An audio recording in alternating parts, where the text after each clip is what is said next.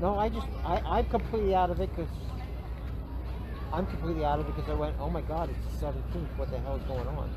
So you're saying it got extended? Was that because of the pandemic?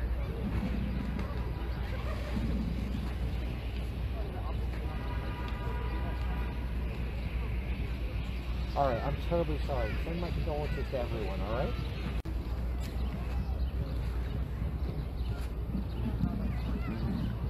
Moy, stuck in traffic. We'll be there soon. Yes?